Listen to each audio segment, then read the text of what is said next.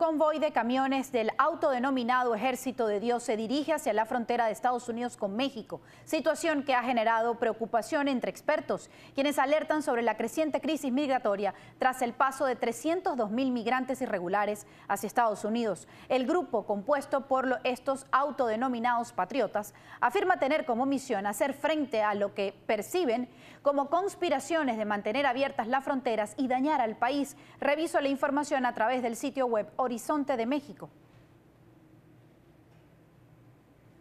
Más abajo en la información se lee, un impresionante convoy de camiones mega autodenominado Ejército de Dios, encabezado por el teniente coronel retirado del Ejército de Estados Unidos, Pete Chambers, se encuentra en ruta hacia la frontera sur de Estados Unidos. Este movimiento ha generado preocupaciones entre los expertos, quienes alertan sobre la creciente crisis migratoria tras el paso de 302 mil migrantes hacia Estados Unidos. La organización compuesta por autodenominados patriotas coordina sus acciones a través de un canal de Telegram con más de mil miembros que afirman tener una misión para hacer frente a lo que perciben como conspiraciones para mantener abiertas las fronteras y dañar al país. El convoy planea llegar a tres puntos críticos de inmigrantes en Texas, Arizona y California respectivamente. En el evento de cuatro días denominado Take Back Our Border, recuperar nuestra frontera, programado para comenzar el 29 de enero, su objetivo es destacar la crisis migratoria y presionar a la Casa Blanca para que tome medidas ante la situación que empeora. Y precisamente la bancada republicana de la Cámara de Representantes presentó dos cargos para un posible juicio político contra el secretario de Seguridad Nacional de Estados Unidos, Alejandro Mayorkas. Los republicanos le reprochan la llegada irregular de millones de inmigrantes a la frontera sur. El informe es de Jorge Agobián, de La Voz de América.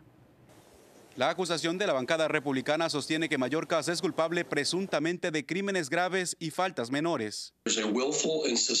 Debido a su negativa deliberada y sistemática de hacer cumplir la ley de inmigración y nacionalidad de Estados Unidos. Según las alegaciones, las políticas dirigidas por Mallorcas han permitido el ingreso de millones de migrantes indocumentados a través de la frontera con México. Violó la ley de tal manera que engañó al Congreso. Estamos hablando de la detención de extranjeros ilegales, la libertad condicional de extranjeros ilegales y su captura y liberación masiva. El Departamento de Seguridad Nacional desestimó el proceso de juicio político y aseguró que por esa vía no se solucionará el problema de un sistema migratorio roto, como lo definen los dos partidos. Por ahora, los cargos de juicio político deberán ser presentados en el Pleno de la Cámara de Representantes para ser sometidos a votación. Solo si son aprobados se abriría un proceso de juicio político en el Senado. La misma Cámara donde Mallorcas forma parte de negociaciones entre la administración Biden y los republicanos. para alcanzar un acuerdo que en palabras del propio mandatario de convertirse en ley serían las reformas más duras para asegurar la frontera que jamás se hayan sancionado en Estados Unidos. También le dará al presidente una nueva autoridad de emergencia para asegurar nuestra frontera cuando esté abrumada. Y como escucharon del presidente, él usaría esa autoridad si el acuerdo bipartidista se convirtiera en ley.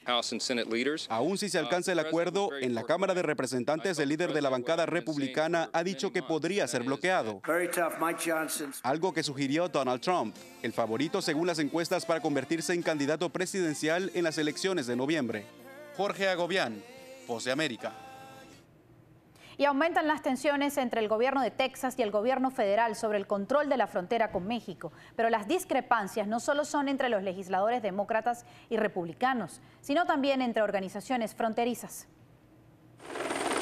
Mientras continúa el enfrentamiento sin precedentes entre el estado de Texas y el gobierno federal por el control de la frontera sur, grupos locales también se manifiestan constantemente sobre las políticas migratorias. Esas tácticas del gobernador Abbott, ah, junto con sus medidas que ha implementado, han, cobrado vidas humanas. Sabemos que en los pasados dos años, desde que comenzó el operativo Lone Star, muchas personas han fallecido. Si queremos que venga más gente legalmente, es primero traer esa seguridad en la frontera. Sin eso, los republicanos no van a entrar a poder hablar sobre una reforma migratoria um, y los demócratas no van a hablar de la seguridad sin traer esa reforma migratoria.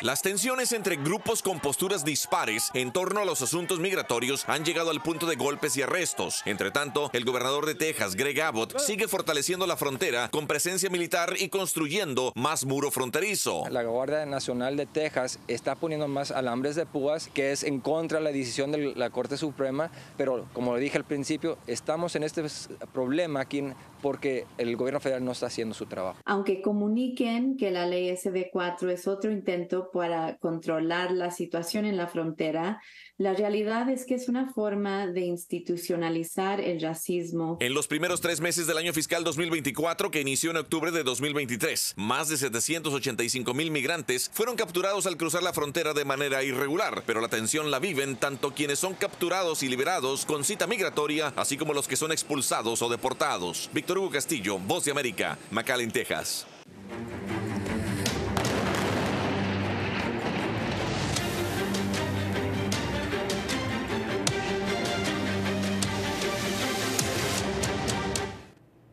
En suspenso se encuentra la ayuda humanitaria para los gazatíes tras las acusaciones contra la Agencia de las Naciones Unidas para los Refugiados Palestinos.